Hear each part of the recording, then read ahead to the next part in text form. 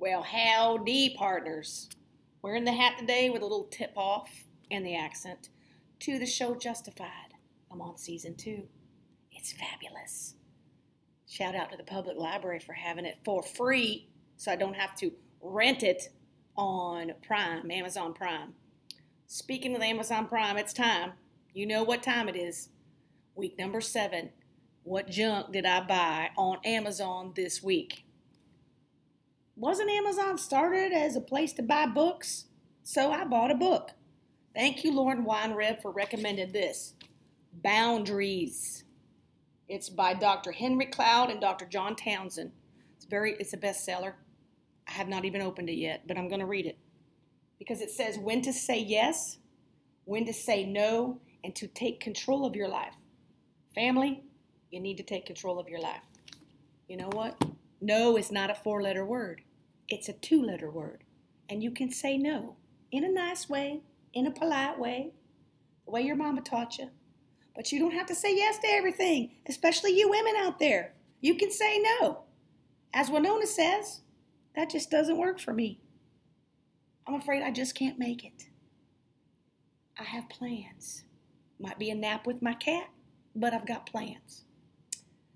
So, speaking of boundaries, I got a little complaint to make. You know, these people, they don't want to wear their masks.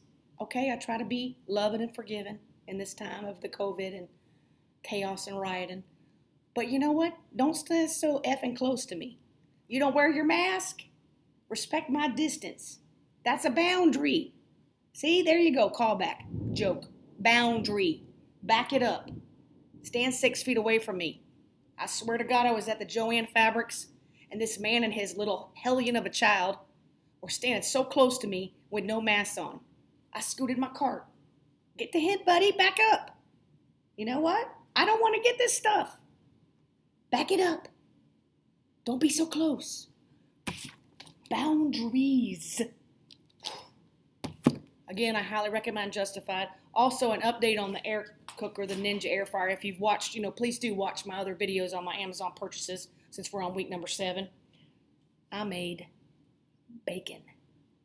Lord have mercy. I made bacon. 10 minutes, no grease, no grease. Freaking delicious. The cat's been eyeballing it. She can't have any. It's bad for her. So, speaking of the cat, I will segue into my other wonderful segment, arguing with my cat. We had some issues this week, nothing big, you know, but uh, she continues to train me, and I don't train her.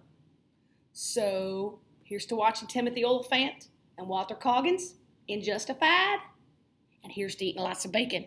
And don't forget, read a damn book. Excuse my language. Read a damn book.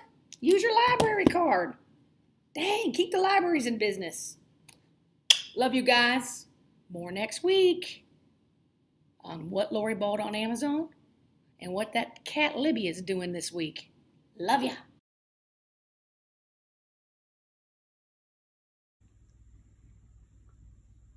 What's the matter? Are you tired? You look exhausted. What did you do all day? You were on the patio watching birds and squirrels and bunnies and bugs, lizards. Oh. Oh, that's ridiculous. At least a dog is security. You run away when the doorbell rings. What what use are you? Oh my god. You are, you're ridiculous. Okay, but you're cute. There we go. All right. What's going on? You used the cat door. I'm so proud. You went out and you came back in. You should be proud of yourself. You are? Well, good. Because you were very brave. People could learn from you. Oh, okay. Or are you just mad at me because I didn't help you with the cat door? Or you just, oh, somebody's outside. Cat on alert. Can we talk about it? Why do you leave your toys everywhere? I don't want that old ratty mouse.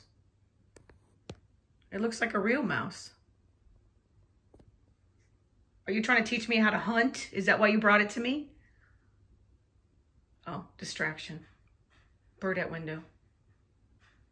I guess we're not going to argue or talk today. yeah?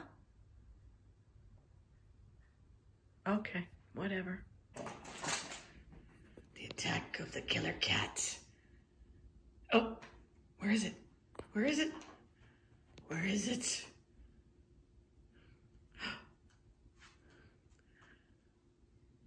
The dollar fifty brown mouse from Dollar General. Yes. Yes.